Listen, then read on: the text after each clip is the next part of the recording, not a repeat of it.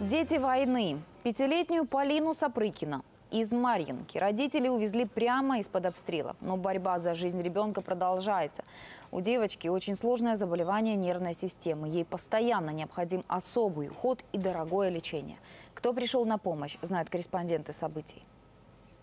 Все силы и деньги семья Гындык тратит на лечение пятилетней Полины. Живут в съемной квартире в Курахово. Дома в Маринке не были уже два года.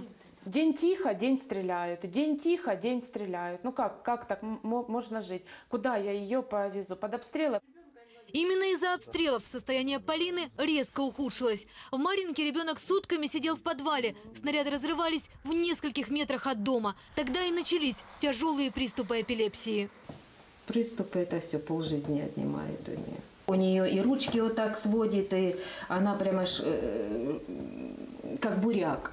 Ротик открытый. В сутки у девочки бывает до пяти приступов. Каждый из них смертельно опасный.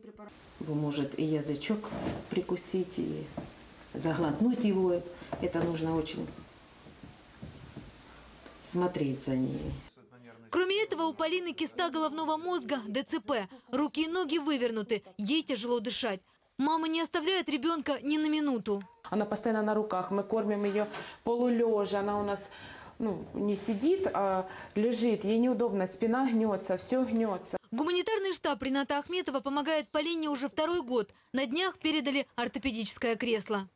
Твердое, ортопедическое, спинка твердая, головку она де- держит. И мне нравится, что фиксируется положение спины, что она сидит ровненько. Это приспособление позволит пятилетней девочке свободно дышать. Ей проще кушать и принимать лекарства. Есть надежда, что кресло поможет в будущем выровнять позвоночник. Э, Всеми силами и помощью мы поднимем ее, я ее по- подниму.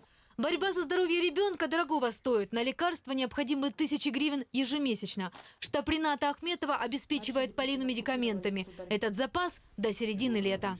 Я хочу поблагодарить Рената Леонидовича Ахметова. И для меня на сейчас, в военное время, очень тяжело купить какой-то тот, тот же самый медикамент, который дорогостоящий, то же самое реабилитационное кресло. Это большая помощь.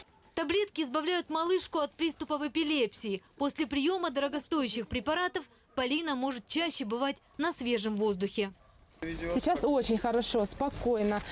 И как мы видим, у нас нет и приступов. Она спокойно сидит, дышит свежим воздухом. За время работы гуманитарного штаба адресную помощь получили почти 1800 детей. В фокусе внимания тяжелобольные и пострадавшие. Штаб помогает медикаментами, оплачивает дорогостоящие операции, реабилитацию и закупает протезы. У таких, как Полина из Маринки и тысяч ребят из Донбасса, есть поддержка и надежда на выздоровление. Татьяна Блинова, Ростислав Сысоев, Евгений Якунин, Олег Жук. События. Канал Украина.